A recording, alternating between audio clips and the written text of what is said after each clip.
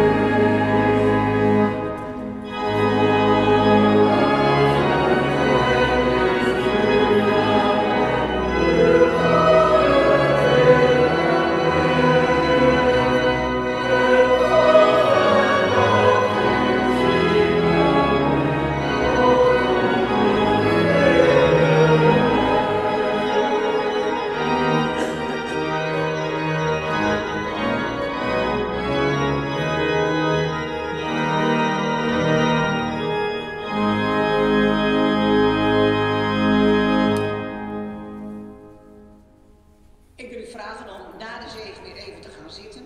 Omdat de heer Burggraaf u iets wil vertellen. Ik ga dan alvast wel naar de consistorie om mij even uh, hiervan te ontdoen.